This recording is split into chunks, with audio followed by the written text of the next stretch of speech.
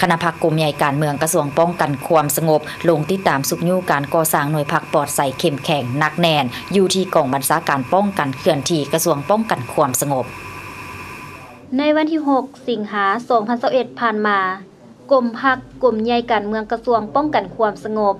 ลงติดตามสุกยู่การก่อสร้างหน่วยพักปลอดใสเข้มแข็งนักแน่น ของคณะพักกองบัญชาการป้องกันเคลื่อนที่ น้ำโดยสหายพันโทเพียนสีแสงคำยองห้องหัวหน้ากลุ่มพักกลุ่มใหญ่การเมืองพร้อมด้วยคณะ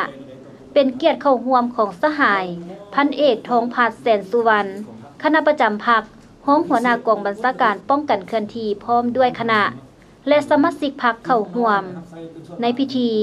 สหายพันเอกทองผาดแสนสุวรรณคณะพักแต่ละคันได้ถือเอาการก่อสร้างหน่วยพักปลอดใสเข้มแข็งหนักแน่น ไปพร้อมกับการจัดตั้งผันขยายมติกล่องประสุมใหญ่หากฐานพัก ของแต่ละหน่วยผ่านการดำเนินเฮ็ดให้คณะพัก สมาชิกพักส่วนหลาย มีความสะดุ้งไว้เห็นได้ด้านดี ด้านอ่อนข้อคงข้างของตนโดยเฉพาะปัญหาที่จะต้องพร้อมกันเอาใจใส่แก้ไข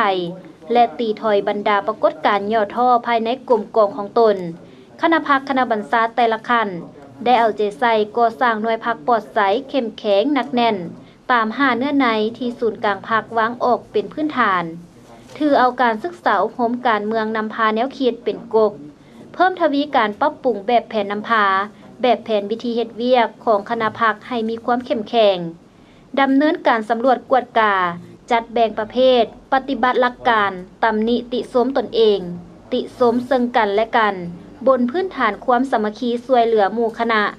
ปฏิบัติหลักการร่วมศูนย์ประชาธิปไตยนำพาเป็นหมู่คณะ แบ่งเวียกให้บุคคลรับผิดชอบเฮ็ดเวียกมีแผนการ แผนงาน มีการติดตามกวดกา สุกยูการจะตั้งปฏิบัติ ระบอบห่วมชีวิตการเมือง ของหน่วยพักและสรุปรายงานให้คันเทิงเป็นปกติ ผ่านการตีราคาแบ่งประเภทสมาชิกพักและตีราคาคัดเลือกแบ่งประเภทหน่วยพักปลอดใสเข้มแข็งหนักแน่น 11 หน่วยพัก สมาชิกพักเข้มแข็ง 341 สหาย